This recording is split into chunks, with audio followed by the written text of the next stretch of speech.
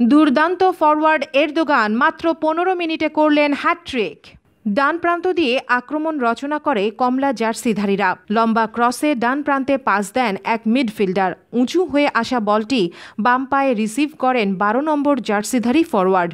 Receive করেই ডান প্লায়ের placing শটে জালে জড়ান বল। প্রতিপক্ষে দুই ডিফেন্ডারের চেয়ে চেয়ে দেখা ছাড়া কিছুই করার ছিল না। গোল বলে উল্লাসে ফেটে পড়েন দর্শকরা। সতীর্থরা অভিনন্দন জানায় গোলদাতাকে। সেই গোলদাতা আর কেউই নন, স্বয়ং তুরস্কের প্রেসিডেন্ট রজব তাইব এরদোগান। একটি প্রীতি ম্যাচে দেখা গেছে তার এমন দুর্দান্ত ফুটবল নৈপুণ্য। ভিডিওর শুরুতেই দেখা যায়, Recep Tayyip Erdogan dressing room থেকে তার দল নিয়ে মাঠে আসেন। ম্যাচের শুরুতে অবশ্য তিনি ছিলেন সাইড বেঞ্চে তবে দল তিন শূন্য গোলে পিছিয়ে পড়ার পর মাঠে নামেন তিনি। নেমেই দুর্দান্ত হ্যাট্রিক করে দলকে সমতায় ফেরান। এরপর জয়ও পায় তার দল।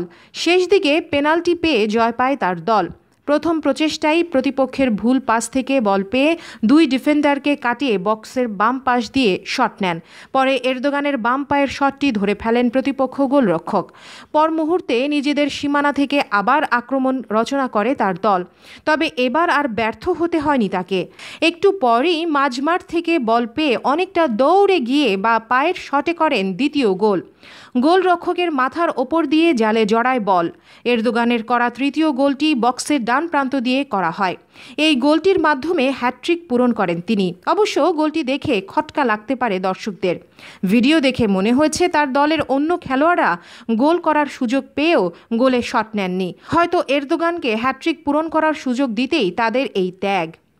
শেষ দিকে আবার বক্সের বাম পাশে উঁচু হয়ে আসা বল বুক দিয়ে পায়ে নামিয়ে ডান পায়ের দারুণ এক সাইড ভলিতে বক্সের মধ্যে ক্রস খেলেন। এ সময় গোলের সুযোগ থাকলেও এরদোগানের সতীর্থকে ফাউল করে প্রতিপক্ষের ডিফেন্ডার। পেনাল্টি গোল থেকেই চার তিন ব্যবধানে জয় পায় তার দল।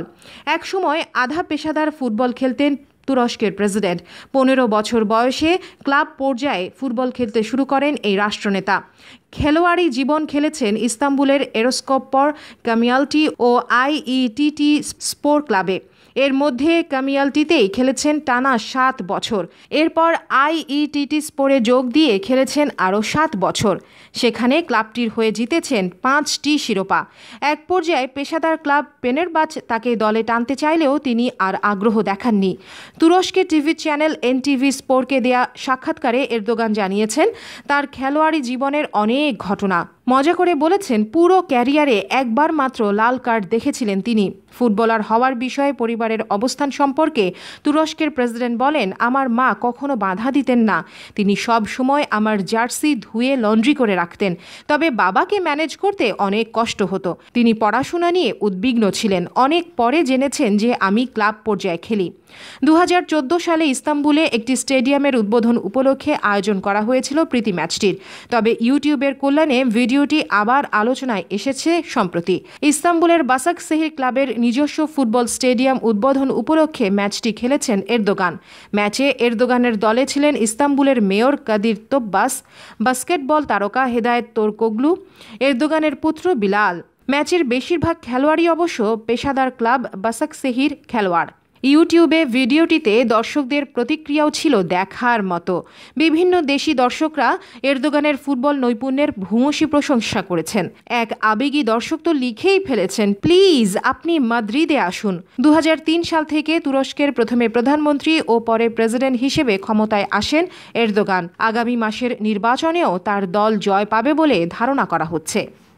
ডিয়ার ভিউয়ার্স আমাদের চ্যানেলের নিউজটি যদি আপনাদের ভালো লেগে থাকে, তবে আমাদের চ্যানেলকে সাবস্ক্রাইব করুন এবং আপনাদের বন্ধুদেরকেও সাবস্ক্রাইব করতে উৎসাহী করুন।